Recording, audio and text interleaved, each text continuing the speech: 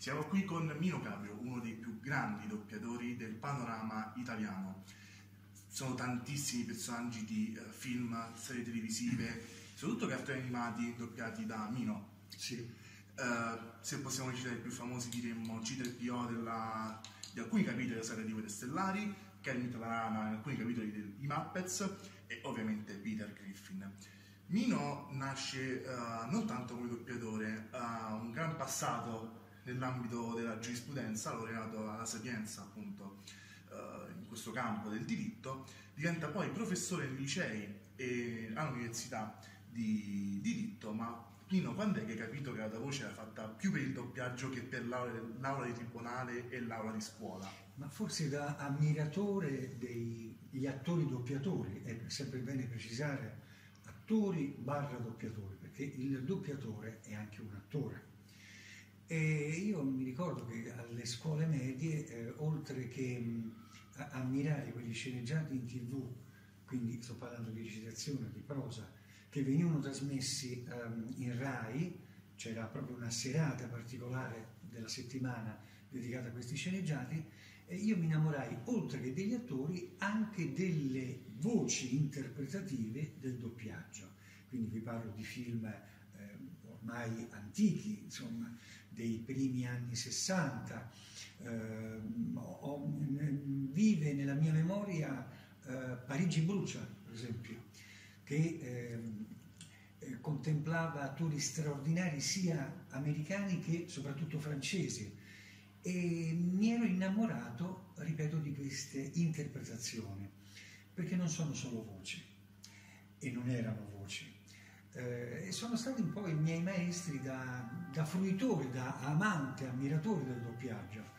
Quindi non posso non ricordare Peppino Rinaldi, eh, Bruno Persa, Emilio Cigoli, Gualtiero De Angelis, eh, Pino Locchi, Cesare Barbetti, Massimo Turci e, dall'altro, dal versante femminile, Rita Savagnone, Maria Pia Di Meo, ancora la, la, la più antica Lilia Simoneschi, Vittorio Febbi, eccetera, eccetera. Questi hanno costituito, questi nomi hanno costituito per me un grande stimolo. Una base portante. Senza dubbio. Io li considero i maestri, i maestri in senso assoluto. Anche perché eh, se io oggi doppio e ho dei riconoscimenti, lo dico con molta umiltà, nei riguardi mh, di Peter Griffin, eh, Peter Griffin eh, eh probabilmente si è formato grazie a una... Um, approfondimento eh, inconscio eh, della, dell'imitazione, del, del, doppiaggio di Jerry Lewis fatto da Carlo Romano. Per cui se Carlo Romano, eh, che so, eh, doppiava Jerry Lewis in una frase che poteva essere Oh salve ragazzi, quando sono letto mia madre non c'era Ecco, e da lì poi eh, nasce anche Peter Griffin che insomma ecco, è un grassoccio americano e parla in questo modo, con la sua risata che è tipica, eh, e quella è tipica sua, per carità. Però in sostanza, se non ci fossero stati i nostri maestri, che sono stati i primi, ma noi non esisteremmo. Certamente. E tu appunto tantissimi anni nella carriera del doppiaggio, quanto è importante, soprattutto per noi italiani che abbiamo una grandi tradizioni di doppiaggio che va ad esempio da Ferruccia Mendola, fino a più recenti Torino Accolla, eh, Luca Ward, Pino Insegno, sì. dare un'anima ai personaggi eh, che si vanno a doppiare, che siano di cartoni animati, che siano personaggi di film. Quanto è importante dargli un'anima tramite la voce? Eh, questo è, dipende anche da, dalla sensibilità di ciascuno di noi. Senza dubbio noi dobbiamo essere a servizio di ciò che vediamo sul grande schermo e sul piccolo schermo poi se c'è qualche cosa eh, che possa filtrare attraverso la nostra personalità, eh, ben venga, eh, altrimenti sarebbe un doppiaggio un po' così stereotipato, un po' piatto. Eh, e quindi ognuno di, ne, di, noi dà il proprio gusto no? estetico, eh, per cui quell'intonazione la diamo in quel determinato modo, eh, pur rispettando i canoni dell'attore originale. Esattamente originale. E tu oggi qui, qui all'altro spazio di Via di Burno insegnerai in una piccola lezione l'importanza della modulazione della voce. Quanto è importante modulare la voce, ad esempio, per Peter Griffin, abbiamo citato, come si può modulare la voce di Peter. Eh, sì, tu vedi una persona, come eh, eh, ripeto, abbastanza insomma, robusta, no? E, e, che ti viene in mente?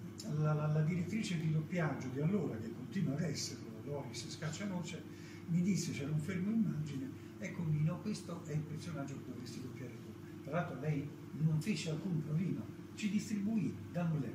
E devo dire che, non parlo di me, ma dei miei colleghi, ci è riuscita benissimo. In sostanza, ecco, vedo questo eh, signorotto egoista, possessivo, un po' menefreghista, dissacrante, eh, dileggiante, eh, con gli occhialini, capello insomma non lungo, camicia bianca arrotolata, eh, pantaloni verdi. Insomma, mi è sembrato giusto di farlo un po' così, un po' pesantuccio come si dovrebbe doppiare uno un po' grassoccio. Ecco certamente e enfaticamente, è ovvio. E quindi ecco, gli ho dato un pochino di mia personalità, perché invece il doppiaggio originale di Seth MacFarlane è invece molto più bravo, molto più rispetto alla mia. Eh, io ho rispettato soltanto la risata, ecco, quella sì perché diventa una cifra, insomma. Certamente. Invece per esempio per la voce di Kermit la Rana, altro personaggio tuo. E Kermit la Rana ci sono dei diktat americani, per cui da un certo punto eh, in poi eh, bisognava fare dei, dei, provini rispetto agli antichi doppiatori eh, della serie che insomma ebbe successo già da noi già Sesame Street sì, nel 60 ecco a me piacciono tanto devo dire la verità erano, erano molto simpatici e, ehm, beh, lì, lì, si tratta di fare un'imitazione per cui eh, hanno un loro apparecchio c'è un ago, come un po' l'elettroencefalogramma, insomma, che deve essere sovrapponibile alla voce originale del, dell'attore in questione. E, e quindi eh, diciamo un prodotto eh, imitativo, bisogna adottare un po' di dolcezza come è chiaro nelle, nelle chiavi e nelle note di questo personaggio, così talmente delicato e poetico, e a me piace molto sentire abbiamo già citato molti dei tuoi uh, personaggi che hai doppiato, con cui sei ricordato appunto Guido, Citepio. Sì. C'è un personaggio di quelli che hai doppiato per cui vorresti essere riconosciuto e per cui non hai avuto. non sei stato considerato il doppiatore di quel personaggio? Oh, beh, insomma. Ma eh, sei particolarmente affezionato. Ecco, eh, ma che ho doppiato in precedenza? Sì, che hai doppiato in passato e mm. ti dispiace che la gente non ti ricordi soprattutto per quello. Ma forse John Turturro eh, che mi è capitato di farlo in due film, eh, anche lo stesso Daniel Day-Lewis che iniziò con me perché io iniziai con lui, diciamo in Camera con vista e in Beautiful Laundrette e, e, poi sai le dinamiche del doppiaggio sono eh, anomale, atipiche e per cui eh, dipendeva anche molto dalle società eh, nelle quali c'erano degli attori soci, doppiatori soci, quindi e, ovviamente andavano avanti loro. Io essendo stato sempre un doppiatore libero, eh, sai, magari sono stato penalizzato sotto questo punto di vista, però ecco, Daniel Day-Lewis mi sarebbe piaciuto, perché è sempre poi molto variegato, con un altro che non ho mai doppiato, ma che l'ha doppiato splendidamente Carlo Valli, sarebbe stato Robin Williams. Perfetto, adesso lasciamo Mino appunto a questa lezione che dovrà tenere all'altro spazio in Mediburno e lo ringraziamo per l'intervista. Grazie a voi. Subito dopo l'intervista rilasciata ai nostri microfoni, Mino Caprio ha tenuto un seminario sull'importanza dell'efficacia del lavoro sulla voce al giovanissimo pubblico presente al Musical Power Camp, tenuto e organizzato da Enrico D'Amore. Però scherzavo già con la voce, ecco, mi giocare con la voce e cercare anche di imitare. Perché deve essere immorato e parlare in questo modo e cantare possibilmente anche in questo modo non sei innamorato di uno spirito. E come lo dovresti? Che voce diresti? Allora io sto, visto che è una cultura abbastanza insomma, robusta, eh, sai, usato il termine eufemistico, abbastanza grassoccio, ho pensato che quando noi grasso magari, sempre praticamente, si tratta sempre di un cartone, eh, l'ho diverso da, da Seth MacFarlane, che ha una voce sua profonda nel doppiare eh, Peter. Io l'ho fatto un po' così, lasciando le guance libere e, e, sì, ecco. e quando che, che desse il- la sensazione di una pesantezza, ecco, una pesantezza però nel senso delirante. Ho rispettato la risata, perché la risata eh, fa parte, diciamo, della pubblicità di questo personaggio. Quindi, eh, se la tessita, eh,